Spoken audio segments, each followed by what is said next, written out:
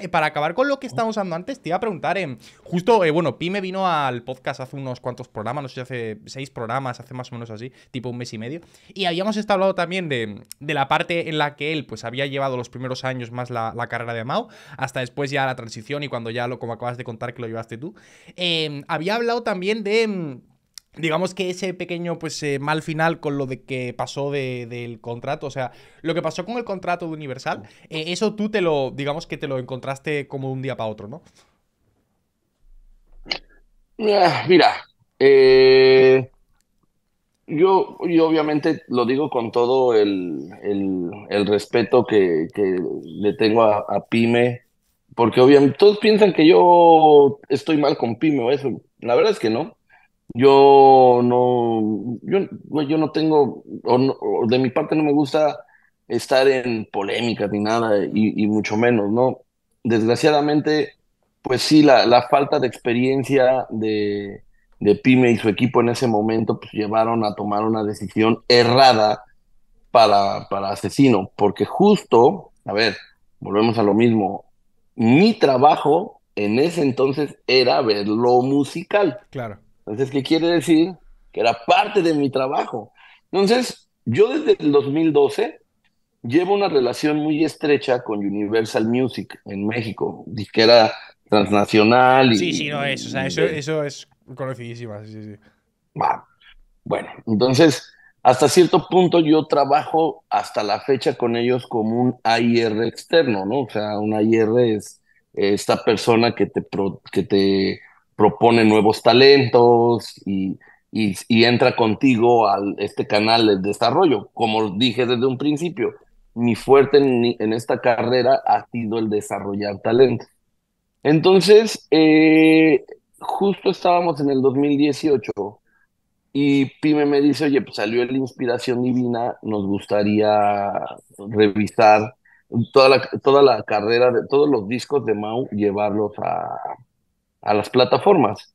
Y le dije, ah, muy bien, conozco esta agregadora. La verdad es que no quiero poner nombres ni nada porque tampoco quiero hacer de esto, ya, esto ya a mí no me importa, nada más como que te pongo el contexto como es. Le dije, vete a tal agregadora, eh, pregunta por tal, que es el director de la agregadora, es amigo mío, y dile que quiere subir el material de Mau, nada más eh, que lo distribuyan no te metas en otra cosa ahí, que lo distribuyan y no, eh, nomás no hagan una exclusividad con ellos. Eh, o sea, tú como es una agregadora, tú llegas y diles, aquí están estos cinco dólares, toma, eh, administramelos, pero no te hagas exclusivo de esto. Claro, claro. Entonces, pues bueno, porque yo, yo, yo, yo, dentro del el panorama que yo estaba explorando para Asesino, yo en una junta de escucha que tenía mensualmente en ese entonces con Universal,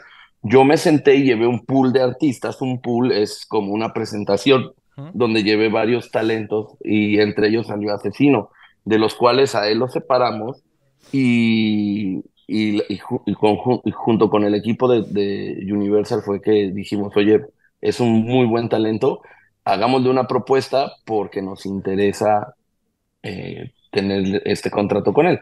Y yo en su, en su momento, incluso a los dos en mi oficina, les dije, mi idea en la música es que Asesino firme en Universal si tú estás de acuerdo, Mau. Sí, sí, claro, ¿no? Pues vamos a darle. Mau, ese, ese cabrón siempre la ha tenido muy clara. Él quiere más, más, más. Yo creo que por eso es el pinche GOAT de GOATs, porque el cabrón no se cansa, güey. Quiere más y más y más y más. Entonces, en ese momento, yo quiero ir a lo grande, órale.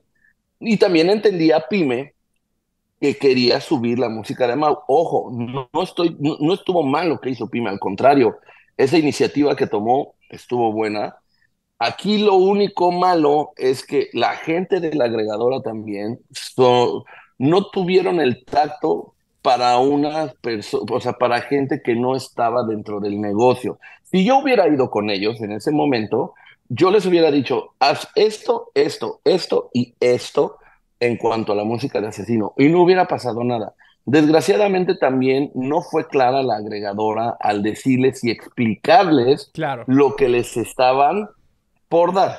Entonces fue una falta de comunicación que ni que la parte de la editora, de la, agregadora no les explicó bien y la falta de inexperiencia del el equipo que en ese entonces estaba con, con Asesino, porque pues todo resulta ahí, eh, como yo no estuve ahí, yo sé la misma versión que, que, que, que contó Pime, pues que sí, estaban en el estudio, Asesino grabando, ¿no?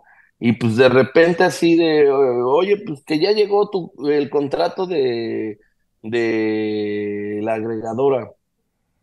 Y oye, pero pues todavía le dijo, oye, pero ¿se acuerdan que dijo Choc que no fuera exclusiva, no? No, no hay pedo, ya está revisado, ya. No sé si estaba ahí Pyme, Pyme si no estaba ahí Pyme, si se revisó o no. Al final de cuentas, no culpo a Asesino tampoco, pero ¿estás de acuerdo que por eso tienes un equipo? Claro. O sea, yo muchas veces le he dicho a Asesino, Mau, hay que firmar esto, ya lo revisé, ya lo revisó nuestro abogado, pero sobre todo yo, ya lo entendí, te explico. Es A, esto, esto, esto. B, esto, esto, esto. C, esto, esto, esto. Mira, tal, tal va a ser así. Vamos, lo firmo. Y, y entiendo que, pues bueno, también tu responsabilidad como artista es justo revisar y tal, pero yo creo que si te están diciendo, estás en el estudio con el rush de que Claro, vienes de, claro. estás, que estás, que estás grabando y estás todo emocionado y oye, vamos a seguir, vamos a la otra toma y de repente te dicen, sí, güey, pero fírmame esto. Y pues bueno, ahí va Mau, lo firma, no me dicen nada, güey.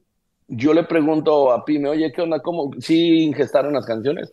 Sí, güey, no, ya quedó poca madre. Ah, pues órale. Y dicho y hecho, al mes siguiente le digo a Asesino, oye, vamos a Universal porque tenemos una propuesta. Iba Asesino, iba Pyme, iba él con nosotros. Pyme estuvo toda esa transición de Universal, güey, estuvo ahí sentado conmigo, estuvo en la firma. Entonces, y todavía antes de firmar le dije, Pyme, ¿seguro todavía? Sí, sí, no, nada más es una distribución. Repito, tam- eh, también la agregadora no, no, este, no, no fue clara, güey, con ellos. En fin, el chiste es que firmamos, botella de champán, fotos, bienvenido a Universal Music, asesino, la, la, la. Estábamos haciendo el concierto con Red Bull de No lo intente en casa. Eso fue mi primera iniciativa como Ah, manager sí, de asesino en la música. muy bueno, sí. Es, eso fue lo primero que yo hice como manager, hacer con Red Bull un concierto en vivo de asesino, que fue el, el No lo intente en casa. Y esa semana, no sabes. De repente estoy así en, la oficina y me hablan de la agregadora. Mi amigo, que es el director, me habla y me dice, oye, Choc, ¿qué pedo? ¿Por qué firmaste? Tú tra- traes a Asesino, ¿no? Eres su manager. Y le digo, sí. Dice, ¿por qué firmaste un contrato con Universal cuando tienes un contrato con, con nosotros? Y yo así de, ¿cómo? Le digo, no mames, ¿cómo tengo un contrato contigo? Sí, pues vino, eh, se lo mandamos a Asesino porque nos mandaste a, gente de, tu equipo con él para, para unas canciones y eso. Y le digo, sí, pero les dije que solamente las distribuyeran y que subieran el material. No tenían por qué haber firmado ninguna exclusividad porque no nos interesa la exclusiva. Solo queremos guardar el material eh, que tenemos para que exista en las plataformas y nosotros firmar con quien queramos. Pues mira, revisa tu mail. Puta, güey, la cláusula de exclusividad en el contrato y abajo la firma. Dije, güey. Entonces, pues mira, eh, entiendo también lo que ha de haber pasado por la mente del pyme, ¿no? Incluso, pues sí, eh, entre él y yo tratamos de sacar como pudiéramos el barco a flote. Obviamente, cuando le avisamos a Asesino, no le, ni siquiera le avisé. Yo ya sabía unos días antes del show de No lo intenten en casa, pero yo no le dije nada, porque pues imagínate, si no iba a agüitarse peor. Claro. Pero ya después del concierto ya hablé con él y le dije, oye, pues hay esta situación, campeón, pues, güey, pasó esto, esto, yo no estaba enterado, a mí no se me notificó nada, no me dijeron, si no yo les hubiera dicho que no lo hicieran, firmaste una exclusiva y pues estamos atorados tres años, güey. Y pues el contrato de Universal se queda en stand-by.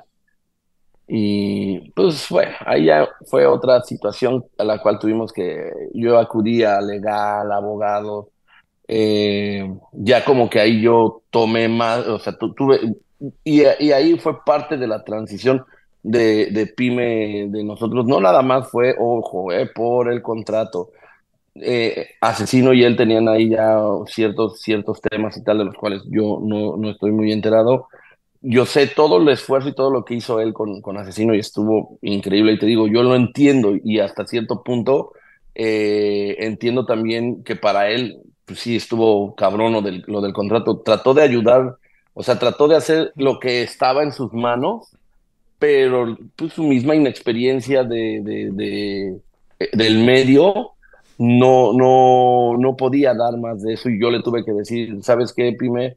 A partir de aquí, güey, yo voy a manejar todo esto del contrato porque necesito meter la gente correspondiente. No me lo tomes a mal, pero pues, dame chance, ¿no? Ahí, hasta ahí quedó. Eh, y lo entendió y tal. Y pues desde ahí empecé una, no, no un tema legal, pero Asesino y yo empezamos a ver la manera para poder zafarnos de ahí, no porque estuviera mal la, la, la, la propuesta de la agregadora, pero al final no habíamos negociado con ellos. Ellos fueron muy ventajosos al mandar un contrato por ser asesino, el campeón claro. internacional y tal, pero no sé, y como no estaba yo ahí presente, si no yo les hubiera dicho, ah, tú quieres estar aquí, pues a ver, ¿cuánto, de cuánto estamos hablando para grabaciones, cuánto para videos? Como un contrato normal que claro. negocie con Universal, por ejemplo. Entonces, pues hermano, desgraciadamente fue así, ¿no? Y repito, muchas muchas personas creerán lo contrario de que yo tengo problemas con Pimo, eso, ¿no? La verdad es que tampoco somos amigos. Eh, en su momento lo fuimos y yo le tengo una, un respeto y una cordialidad, pero hasta ahí. Y, y, digo, no porque yo no quiera, ¿eh? todo bien, no nos hemos visto, no nada. El día que lo vea, con gusto lo saludaré y todo bien. Reconozco su, tra su, traye su trayectoria y su paso por el freestyle y lo mucho que hizo él, ¿eh? ojo. Yo incluso aprendí muchas cosas de, de, de, de Pyme. Desgraciadamente, bueno, también la vida te enseña que cuando no estás preparado para ciertas cosas, pues debes de saber afrontarlas, ¿no? Yo creo que la enseñanza que llevas pyme es eh, pues a, a, a, ser más precavido con las cosas, sí. ¿no? Entonces... No, no, que yo decir que yo él, él perdón, perdón, cuando, vino, sí, no, que, que, él cuando vino al podcast, que sí que recalcó la verdad mucho eso de que, de que al final lo de lo de manejar la carrera de, de Mau y tal, ¿no? En ese tiempo, que fue algo más que como que surgió, ¿sabes? Y como que orgánicamente acabó apareciendo, pero que él mismo, como saber que no estaba preparado, que era una cosa que, era muy grande, que llegó un punto ya que se le acabó yendo de manos, y él también me dijo un poco eso, lo, del tema del, del, contrato y esto, un poco el tema de eso, la inexperiencia, el no estar preparado para eso, eh, y no, no de mala fe, ¿sabes? No, y, y te digo, ya... Eh Asesino y él venían, te digo, de trabajar, tenían una relación ahí que yo, como te digo, yo no podía meterme, ¿no? Yo estaba contento de que lleváramos el co-management cada uno con, con, con, su parte, pero bueno, después la situación cambió eh, y pues afortunadamente para mí ya me hago cargo de, de la carrera de asesino hasta el momento, pero pues sí, ese trago fue muy amargo para todos, incluso obvia, obviamente para Mau, pero sabes que siempre hemos tenido, y, y, digo, perdón por añadirlo, ¿eh? Este, las cosas más culeras que nos ha pasado en la carrera con Asesino, o sea, muchas nos han pasado, pero más allá de ponernos a pensar, puta madre, ¿y ahora? ¿O qué va a pasar? O, o agüitarnos, afortunadamente tenemos la madurez para decir, tenemos este problema aquí, vamos a resolverlo, vamos claro. a ver qué. Y me acuerdo que con esta agregadora empezamos a negociar. No mames, hijos de la chingada. Fíjate, por eso digo, no quiero decir su nombre. Eh, pero empezamos a hablar y empezamos a negociar para que nos pudieran liberar. Y era una agregadora independiente, ¿eh? fíjate nada más, independiente, que luego la gente podría creer que una disquera es peor que una agregadora por ciertas, ciertos lineamientos. Entonces no, llegó un momento en el que dijeron, bueno, a ver, ya hablamos con nuestro legal y hay una opción para liberar a asesino. ¿Qué onda? ¿Qué quieren? Pues mira, queremos que Asesino nos grabe dos discos de larga duración, o sea, dos discos completos como de 12 canciones, o sea, 24 canciones. Queremos dos discos de Asesino. Queremos un disco de seis canciones de puros freestyles. Queremos este, todas las grabaciones que tenemos en exclusiva para nosotros y eh, queremos sin, sin, un, sin un tiempo, o sea, sin, sin marcar una, una vigencia, queremos que Asesino, hasta que nosotros queramos, nos haga seis feats. O sea, ¿qué quiere decir? Que seis featurings ellos podían escoger con el artista que ellos quisieran en el momento que ellos quisieran. O sea, eso fue 2019. Si ahorita para el 2024 me dijeran, oye, güey, ya queremos el primer fit con Asesino, ahí te va, ellos lo podían hacer. Todo eso, güey, para dejarlo salir. Y entonces, te lo juro es que, es una locura todo, ¿eh? O sea, lo, de los discos, lo de... Hermano, lo querían, lo que querían, querían eh, eso, cabrón. Y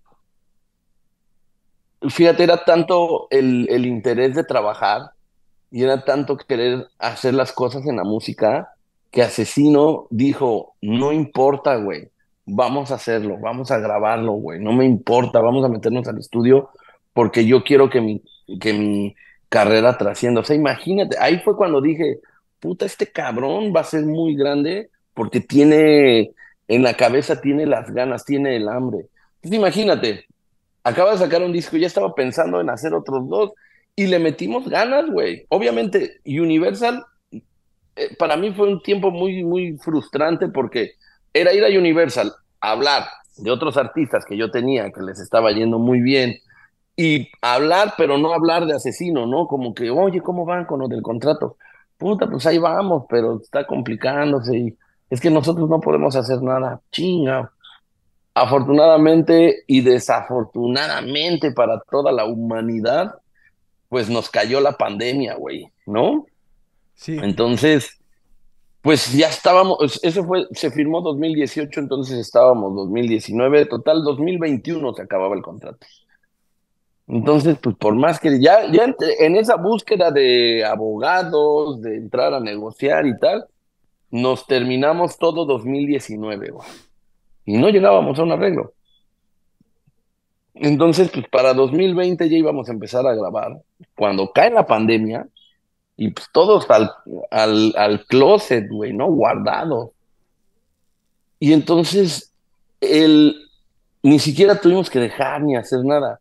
El tiempo lo arregló solo. Nos sacó de el tiempo, el tiempo involuntario, porque pues no es como que quisimos quedarnos sin trabajar y sin estar en, en, el, en, en, en la actividad. Esos dos años de, de, de guardar de, eh, por la pandemia, ¿no? De, estar encerrados, pues hizo que el contrato continuara, güey.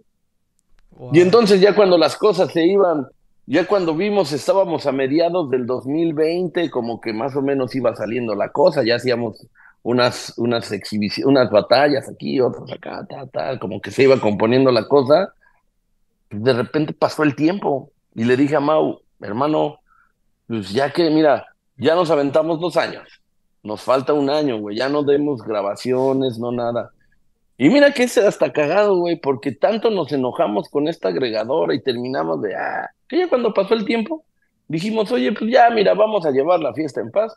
Pues vamos a grabar una canción, güey, y que la suban ellos.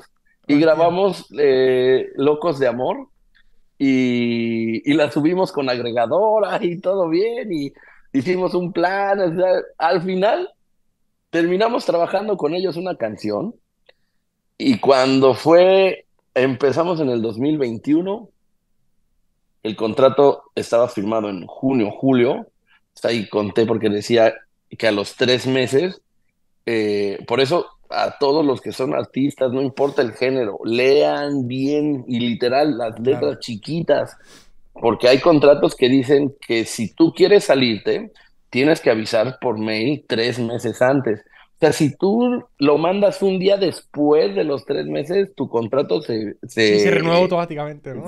Se renueva automáticamente. Entonces, literal, me puse unas alarmas y el día que se cumplían los tres meses, ¡pum! Mi email. claro. ¿Y sabes qué respuesta tuve de la agregadora? O sea, imagínate todo esto que pasó, los abogados, todo, todo, todo lo que pasamos durante un año para recibir un mail de muchas gracias, sí, con gusto hacemos la cancelación del contrato. esperemos que nos volvamos a encontrar en el camino, aquí estamos, cuando quieran. Y dices por dentro, pero ves esa respuesta y dices, no chingues, estuve yo esperando algo así durante un año y no se pudo. Y 2021, a Universal, a Mau, a ver amigos, vamos a retroceder en el tiempo, volvamos a sacar otro champán, otro contrato, fotos, todo, y ya estábamos otra vez en la mesa todos juntos y seguros no hay ningún contrato pendiente por ahí. No, no, no, no, ahora le afirmaron. Ah, y, de ahí, de ahí para acá, ya afortunadamente hemos estado trabajando muy bien y pues hasta donde estamos ahorita. Qué bueno, tío, qué bueno. Oye, no, es, una historia que, o sea, ya te digo, conociéndola así, conociéndola bien, en plan, o sea, verás que tiene ese momento de que no me quiero ni imaginar lo que dices tú de después de la celebración, después de tal, después del sentimiento también creo que eh, tuvisteis que tener al firmar con Mao Universal y todo, ¿sabes? O sea, eh, tiene que ser como, como un bajón que te pase toda esta situación y más con, el tema legal, todo tal. Pero bueno, qué bueno que al final, mira, pues el tiempo lo arregla solo y ya, y ya a partir de ahora, pues creo que han ido bien las.